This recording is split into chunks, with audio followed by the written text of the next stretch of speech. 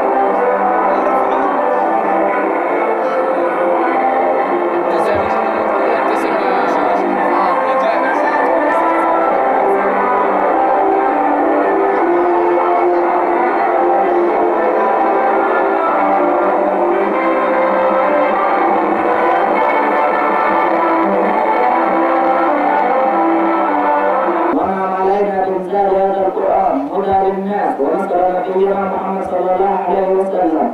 وسلاما مباركا على النبي المطهر صاحب الوجه الأنور ما صار سبيل للحق واضحا وما على نجم في السماء كأطهر صلاة وسلام إلى يوم البعث والمحشر أما بعد مديري الفاضل أساتذة المحترمين إخواني الطلاب السلام عليكم ورحمة الله وبركاته. سعدنا أن نقدم لكم إذاعتنا لهذا اليوم الخميس 5 9 2013 وخير ما نبدأ فيه آيات بينات من الذكر الحكيم يتلوها علينا الطالب عمر جيد الرحمن الرحيم قام والقرآن المجيد بل عجبوا أن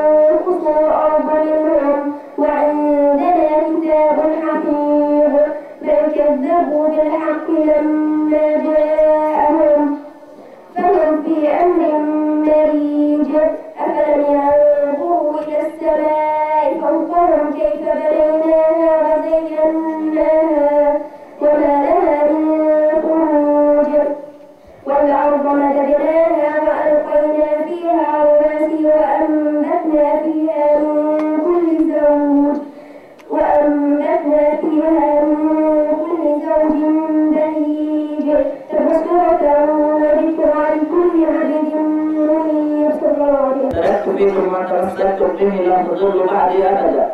كتاب الله وسنتي فمع الحديث الشريف قال حذيفة جيد عن جابر رضي الله عنه أن رسول الله صلى الله عليه وسلم قال من قال حين يسمع النداء اللهم رب هذه الدعوة التامة والصلاة القائمة آتي محمد الوسيلة والفضيلة وابعثه مقاما محمودا الذي وعدته حلت له شفاعتي يوم القيامة.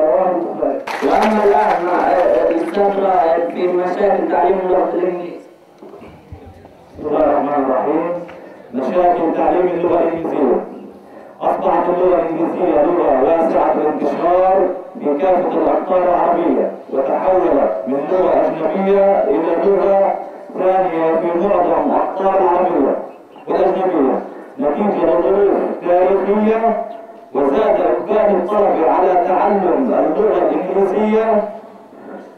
الأخيرة وقد تنوعت أسباب تعلم هذه اللغة لعدة أسباب تعلم اللغة الإنجليزية إن اللغة الإنجليزية لها علاقة ببعض الأعمال والصناعات إن اللغة الإنجليزية هي وسيلة للدراسات العليا في كثير من المواضيع. إن الناس ينظرون إلى اللغة الإنجليزية كلغة عالمية وعلمية فمعظم الأبحاث تكتب وتنشر باللغة الإنجليزية. إن اللغة الإنجليزية مطلوبة في المدارس ويجب على الطلبة تعلمها. مشاكل تعليم اللغة الإنجليزية. ازدحام الطلبة في الصفوف. مما يجعل تعليم اللغة الإنجليزية مهمة صعبة وشاقة. على الطالب وعلى المدرس. مع العلم أن هناك إجماعا بين المختصين في تعليم اللغات على تقليل عدد الطلبة المتعلمين اللغات. قلة المواد والوسائل التعليمية المساعدة في التدريس كالمؤتمر والمجلات والكتب الإضافية وحتى في حال وجودها فإن المعلمين غير قادرين على الاستفادة منها واستعمالها. المشاكل التي يجب مراعاتها المشاكل التي يجب مراعاتها. على المعلم أن يتكلم اللغة الإنجليزية ولا يلجأ إلى اللغة الأم إلا في حال تفسير بعض المفاهيم والمصطلحات اللغوية. على المعلم أن يعطي فرصة للطالب بالتحدث داخل الصف وينصح الخبراء أن تكون نسبة كلام الطالب داخل الصف 75% وكلام المعلم 25% على المعلم أن يحضر المادة بعناية ويحضر خطة دراسية تتناسب مع الطلبة واحتياجاتهم. على المعلم أن يصحح الخطأ بإعداده الجواب الصحيح على المعلم أن يعلم يعلم عنصرا واحدا كل مرة يعلم عنصرا واحدا كل مرة لأن التعليم أكثر من شيء واحد يؤدي إلى عدم تعلمه. على المعلم أن يشجع الطلبة ويزيد رغبتهم في تعلم اللغة وفقا لرأي العلماء. تدريب المعلمين على الطرق الحديثة وتجديد معلوماتهم الخاصة بتعليم اللغة.